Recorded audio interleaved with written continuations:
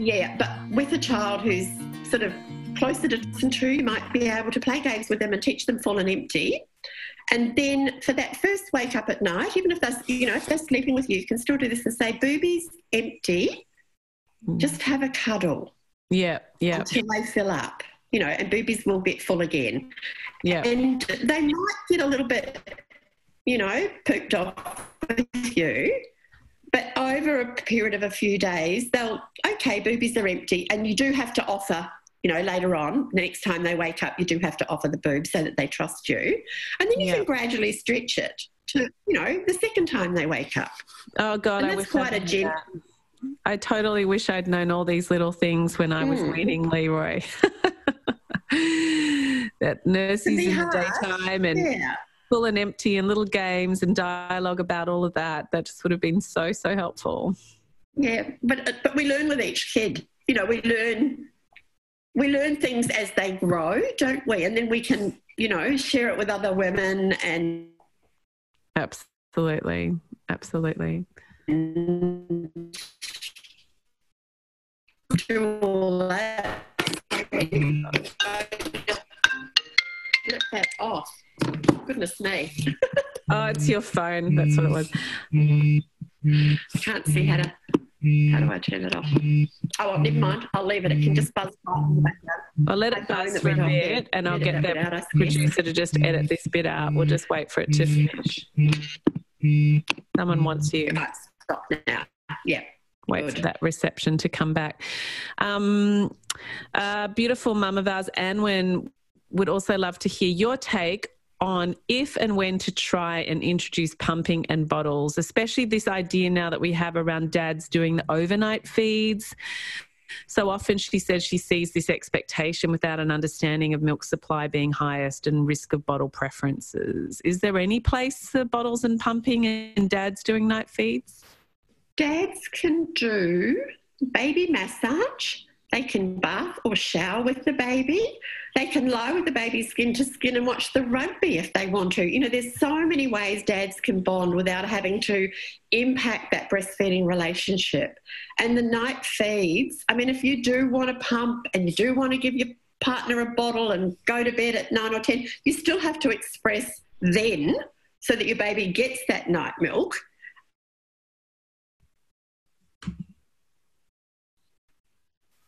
No, it's cut out.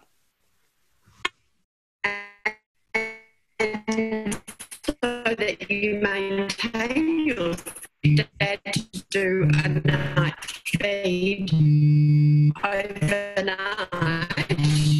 Hang on, pause while you do that phone. the screen to turn it off to reject. I don't know how. I think you could but I can't get it up for some reason. Oh yeah, yeah. It's all right. What is it? I don't know. It's gone. It's gone. Hopefully that'll call back. Yeah, so there's so many beautiful things that dads can do. What were you saying after that? Like watch the rugby. There's lots of other ways to not interrupt that breastfeeding. And they can do all sorts of things. Oh, it's cut again.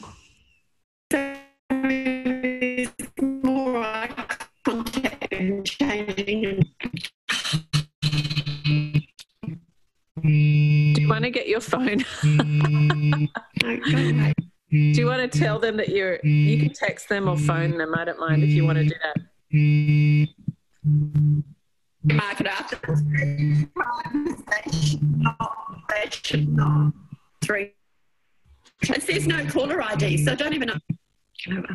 Oh, I hate that. Yeah. So I'll be like, come in, Leroy. It's a good time, darling. Leroy's just come home too, so it's a good time. Don't worry, we'll just cut out that little bit. Leroy, when you want to hotspot off your phone, but not get phone calls in, what do you do on your phone?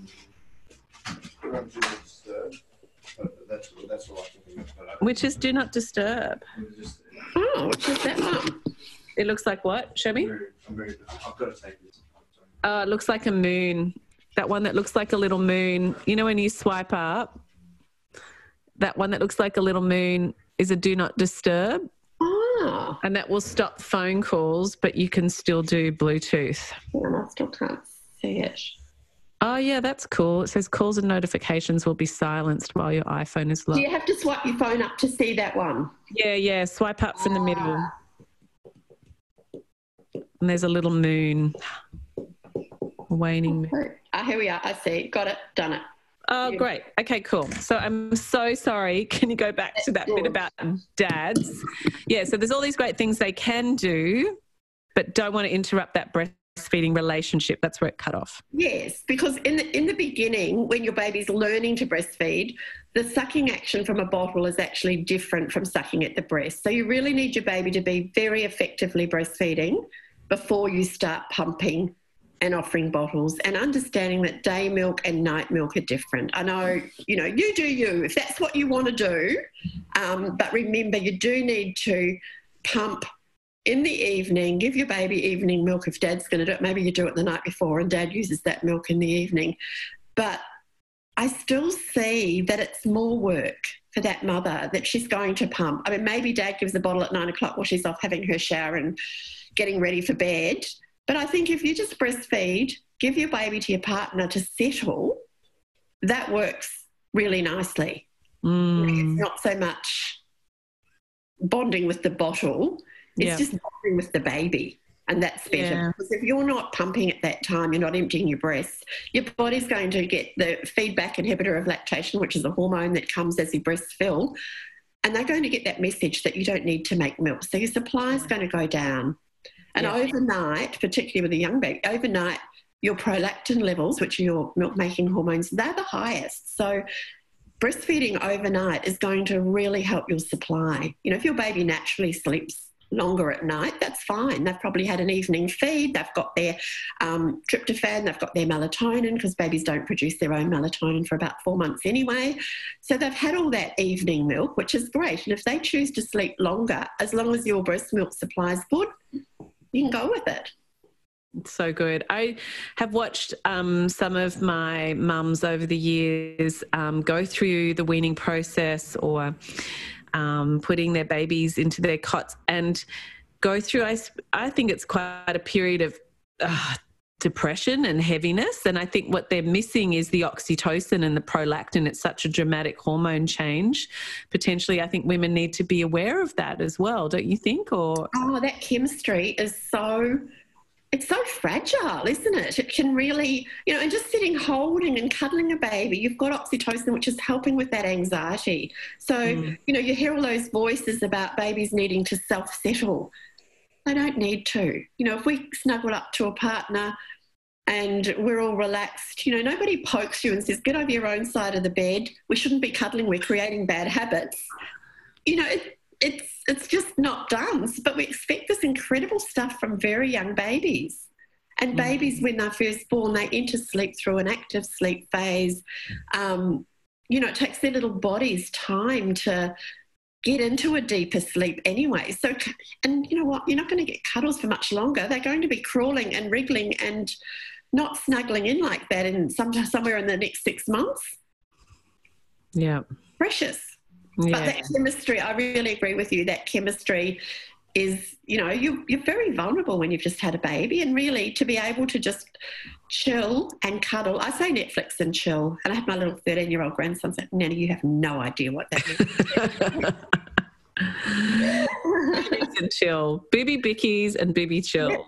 Fill a basket with stuff. You know, you've got your snacks there. There might be boobies, there might be some fruit, and a bottle of water, and perhaps a couple of nappies and some breast pads, whatever you're going to need. And just cart that basket with you, whether it's sitting out in the sunshine or whether it's on the veranda or whether it's in, on your bed or whether it's um, you know, watching TV. It doesn't matter. Yeah, And just sit there and chill. Yeah. I love it. Thank you. So, sleep being the other big hot topic. Mhm. Um, uh, Han Perkins is asking us, we'd love to hear any tips you have for safe bed sharing. Okay, so there is a thing called the Safe Sleep Seven, which um, I actually mentioned, I've got a book, Sleeping Like a Baby, so I've mentioned that in there because it was created by Diana West and co, who wrote Sweet Sleep, for published by La Leche League. Um, and obviously, no smoking. Um, you know, if you're a smoker, baby needs to be separate from you. And smoking during pregnancy, there's now research around that that can um, inhibit the baby's development of their arousal response. So smoking, you know, smoke-free environment, pregnancy, and that you're sober and that your partner's sober. Because if you're on any medication or you've had any alcohol, and that's why I get I get so upset about all these wine memes, you know, that I think they've gone overboard because if you're a new mother, you know, okay, if you want to have an occasional drink, but it's getting really silly that mummy needs wine. And if mummy needs wine, needs it, maybe she needs some support and some counselling and some help. Yeah. Um, but, you know, that you are sober and otherwise you're not aware of your baby. Yeah. You know, if you've been drinking, you go into a deeper sleep. That baby's on their back. And if you're lying with your baby, maybe I could stand up a bit, um, and you've yeah. got that baby in the crook of your arm, you're on your side, your knees will be bent if you're breastfeeding. That's, that's the breastfeeding mother's position. The baby is honed in on the breast. You're not going to roll over your outstretched arm. They're not going to slide down below your knees. So you've got that cuddle curl. And if you watch a cat feeding their kittens, mm. if you watch any mammal, that's the position they get into. So that cuddle curl, um, that the baby's lightly dressed. Um, you know, you wouldn't have a sleeping bag on if they're in your bed. You want them uncovered, you want their head uncovered, um, and you want your bed to be fairly firm. You know, if it's too soft, the baby can get down into crevices. Um, you know, watch out for cords and gaps and things like that too. I love so creating a safe space mm. bed, and that if you've got a partner in the bed with you, that you're both taking responsibility because. Mm. You know, it's no mm. good just one person saying, um, it's fine, I'm sober. I'm, you know, you both need to be sober and aware of the baby. Yeah, I really hope that people, I think for a long time, um, well over 15, 10, no, probably 10 plus years, there's been a big period of time now where women have been very afraid to co sleep. And it's been a bit like, oh my God, you're having a home birth. Oh my God, you're a co sleeper. Mm. Like they're shunned almost. But it's mm. great to hear about these principles. And it's great to also for people who are listening to listen to Dr. Howard Chilton's podcast, who also talks about his work and James McKenna's work in showing that sharing a bed can be safe when certain factors are yes. considered. If you've got it safe, yeah. James McKenna's wonderful, and so is Howard Chilton. You know that yeah. it's something we've done forever, but I think if we don't talk about it, parents don't know how to do it safely, yeah. and they're more likely to do it when they're absolutely exhausted and about to hit a deep sleep. They might have even had a drink, or they might have taken some medication, and then it's not safe. No. You know, so you do it as a last resort because you just think, oh, buffer it, I'm going to take that baby and fall asleep in bed with it. And, mm. you know, which is what I did with my first baby. I didn't kill him, but, you know, um, you know, I, I, just had got up and down and up and down and up and down. And, and I was told by my relatives that I would kill him because he was slept in our bed. But, um, you know, I got up and down, up and down. I actually handed him to my partner. My husband put him on his chest. Yeah. as the sun was coming in, the baby wasn't in his cot. I'm throwing off the blankets to see where this baby is. And I turned around, still sound asleep on my husband's chest, skin to skin, oh, which was really oh, beautiful. Oh, Leroy spent many a night sleeping there on his daddy's chest. I remember it. It was so beautiful. It's mm. a hmm. beautiful thing. So as long as we keep the safe environment and we're really careful about that, mm. the risks aren't. And by four months, the risks between cot and co-sleeping are no different. It's really That's great the little That's ones, great to know. The little bubbers. Yeah, yeah. little bubbers. And if you've had a prem baby or something like that, you know, be a bit more careful. Uh, yeah, oh, bed sharing's the best. It's so snuggly and delicious. Um, yeah. Yeah. And Simone's asking Should your baby tell you their sleep routine or should you direct them into sleep times as they get older? And if so, what age do we start sleep training? She said she doesn't like the term, but that's what gets used. Mm. What do you reckon? Yeah. I think we can just follow the baby's leads right up. You know, I, I, suppose it depends. If you have to go to work in the morning and your baby's up till midnight, maybe try, um, you know, snuggling down and turning the lights low earlier at night and gradually move that back. I had one child who only needed eight hours and only 24 at six months. Mm. So I kind of gradually moved it so that about 11 o'clock at night he would fall asleep till mm. about seven in the morning because and he woke up a couple of times in there for a feed anyway, but you know, at six months, because that kid, I would put his older brother was having an afternoon nap, and I would snuggle him down with the curtains drawn and the room dark and put him on the boob, pretending it was night time, but he wasn't having that. He'd have the boob, and then he'd be up, ready to crawl again. And he was very active and you know, 95th percentile for weight and height and everything because I had people telling me if he doesn't sleep, he won't grow. Well, mm. three tall man now. Um, yeah. but, you know, it was just, he's just one of those kids who didn't need a lot of sleep. And there are genetic factors around that now. There have been some studies showing that, you know, if you're a person or your partner's a person that's high energy, doesn't need a lot of sleep, yeah. chances are you have a child like that. So you can't really force them into sleep, but you can and by the time they're toddlers, you can create a gentle rhythm to your day. Yeah, yeah, got it. You know, they might not be in bed by six or seven at night. There's no rules about that, but you know, you can move them towards it. And then there'll be tricky times as they drop sleeps, you know, as they drop their naps.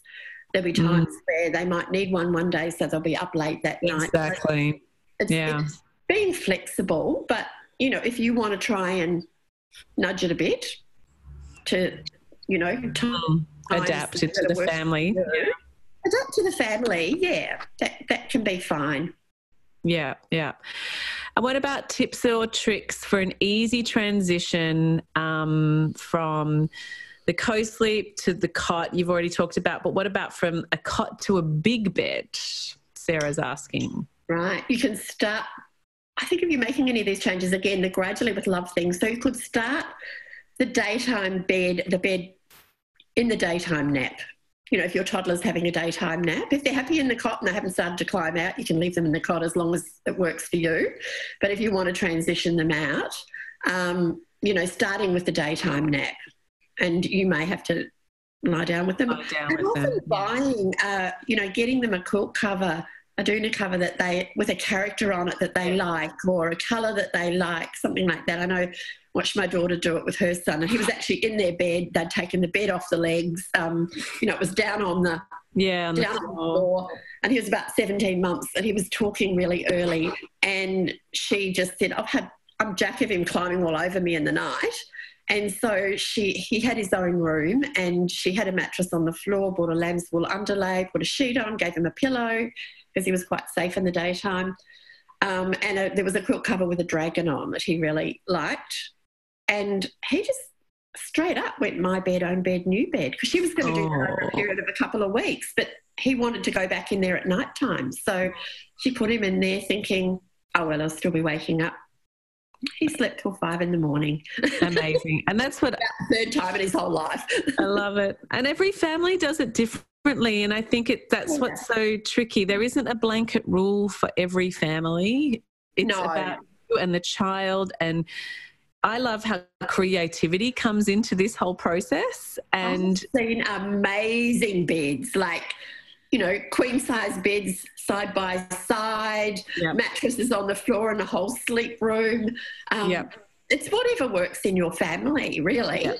And, and speaking of that, that big bad thing I was just going to say. I have some beautiful friends in Byron, and they um, you know, who I doula'd for, and, and they just had made. So if anybody wants it, they just have to go to 40 Winks, who are now the experts. They have a double king mattress for the wow. four of them plus the two dogs. And it's, and it's all working incredibly well. Like the full bed head's been made, the full mattress, wow. the quilt, everything. It's so, so cool. So that's 40 Winks.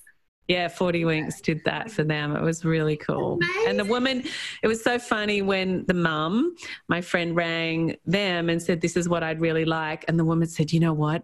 That's what I would have loved like 40 years ago, and I'm going to help you do it. So she got to like live oh. her dream through helping them. It was really beautiful.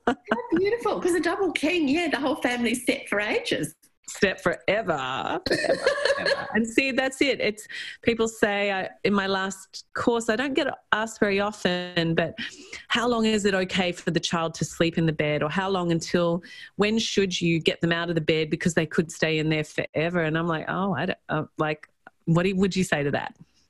Well, I used to write for a magazine in Asia, and they'd send me copies of this magazine, and there was an article about co sleeping. I hadn't written it, and they'd interviewed a psychiatrist from the Philippines, and they asked her that question, and she said, by, by adolescents because adolescents need privacy. that is not what we hear over here.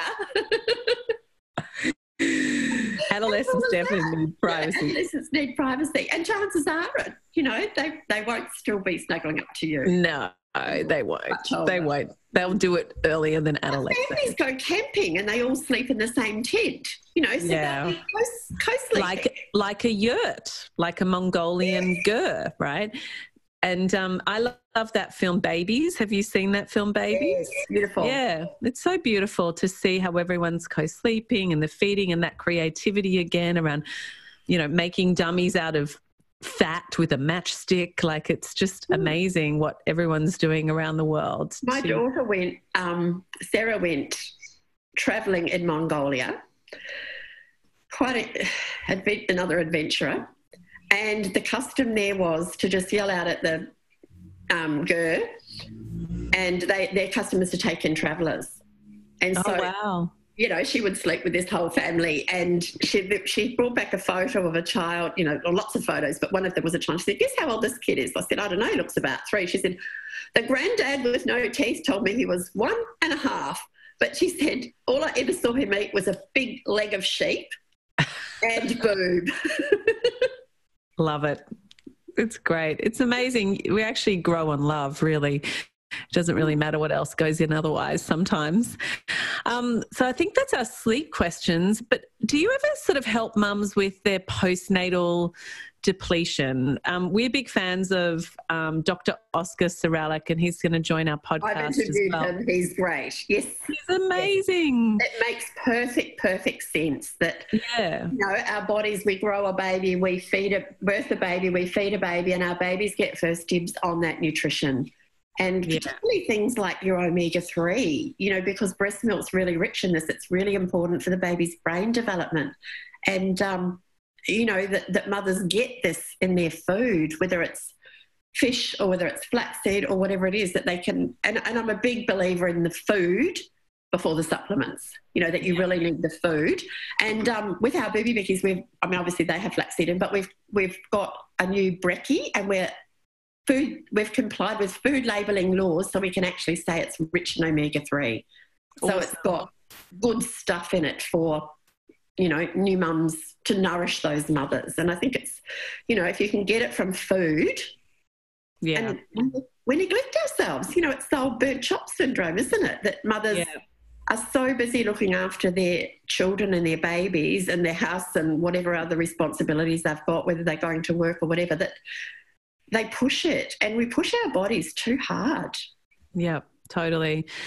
So do you think it's um you know, when a woman is really, really depleted, what would you say? Like, could she continue breastfeeding or should she wean? What's the, yeah, have you ever seen those sorts of scenarios? I have, and then I would refer that mother on to someone like Dr. Serrallach, you know, an integrative medicine specialist who would do that, um, who would help them get back up again because yeah. they can still continue to breastfeed. I mean, that, that it's their body stores that are depleted. The baby's getting first dibs, so they need to, you know, up those body stores. But I have seen them, you know, really foggy brained and. You know, she's saying to her partner, "Can you take notes?" Because she can't even follow a conversation. And then just, and I always say to her mother, "What did you eat for breakfast? What do you, you know, what did you have for lunch? What have you eaten today? Not just are you eating well? You know, it's always think about what you've actually eaten and so often, it might have been a piece of toast, it might have been a cup of coffee. Often it's not much and it's two o'clock in the afternoon, and you think you, your body can't do this. Mm. You really need to, you know, do something. And, you know, if it's an if the mother wants to wean, that's her prerogative. But if she can do something, and also getting your iron levels and your thyroid levels checked, because yeah iron and, and, B12 too, but iron and thyroid in particular can have those symptoms of, you know, depression, anxiety. I have Graves' disease, which is an autoimmune thyroid disease and disorder. And, you know, as that flares up, the anxiety is just revolting. Yeah, so, totally. It's about taking care of yourself and, and getting those blood tests. You know, homework. I, when I've done seminars, you know, there might be 100 women in the room And also, has anyone in this first year had their iron and thyroid levels checked? The most I've ever had is about five hands go up. Wow. And so it's not happening, and it should be happening. Practitioners should be, you know, doctors, when you have a six week checkup, should be asking about this. Absolutely. And we should be having at least three blood tests throughout a pregnancy and then at least a six week checkup as well, blood test. And I'm I'm as bad as anyone at the self care, but if we don't look after ourselves, how can we look after our families? That's just we can't. We've got to. No. It's the old airplane. Got to oxygen mask on, isn't it? Yeah, it really, really is. And I've just literally had an iron infusion, and I feel like for 17 years, I've never really got my iron levels back up. My ferritin stores have been really low, and my hemoglobin's low. And I finally had an iron infusion after meeting Oscar. I kind of like was kind of okay, I better get onto this. And my next step is is my thyroid with a subclinical hypothyroid. But it is, it's so common and we can fix these things. And that's why I'm sort of tracking my progress and sharing it on social media. And I can't believe the conversations that women are having about it and how much they're having to almost fight to get uh, their sort of iron infusions or support for that. Wow, because there are, there, the iron infusions are a lot more common now mm. for women with newborns yeah. You know, throughout love, it just seems to be a bit more of an awareness because there certainly wasn't that. My daughter's vegetarian and had a bleed when she had her baby. There was no iron infusion offered. And, and you know, they didn't even say, Are you a vegetarian? Like her levels were just borderline. So she had to take iron. And if you're taking iron, your, your levels are only going to come up about one point a month. It's going to take a long time for you to get that energy back. Whereas with an infusion, in a couple of weeks, you're starting to feel good again. Yeah, exactly. Yeah, absolutely. I'm on week, I'm at like two weeks now, and I've just started to feel better. And it's so interesting when the body is taken care of, the mind works better and the emotions are more stable, just like you say. And yes. so, yeah, the, the feeling of overwhelm and depression, anxiety was certainly there for me. But um, as a, you know, forceful single mom entrepreneur. I just like push through, push through, push through. And I was like, sometimes, no, actually, I'm going to see what's going on in the body. And it's interesting. I feel so much more calm and I'm sleeping so much better. And yeah, it's. Yes, we push sound. through one more day, one more day, one more day. And we don't see that gap to take care of ourselves. Yeah. So it's that's what we're going to say. yeah, that's right. So, what would your message be, final message be to all the young families out there? Be kind to yourself. You know, you have nothing to prove. You don't have to do a, a, whole load of things. You don't have to have your children all beautifully dressed on Instagram. You don't have to have your house looking amazing all the time. You know, there's going to be mess, there's going to be tears, there's going to be your child is going to behave badly in public. There are going to be nights when you just think you cannot wake another time and really being kind to yourself and and doing doing you you know, whatever you need to do. Because I think if, if you just listen to your heart and listen to your baby and trust that connection between you, I don't think you're going to go very far wrong. Sounds perfect. I totally agree. Well, thank you for helping us surrender to the chaos and find the beauty and trust ourselves and all the great work that you do, Pinky. You're a legend. Thanks so much for sharing your words of wisdom with us today. Thank you for having me. we'll see you soon. Okay. Thanks. Bye.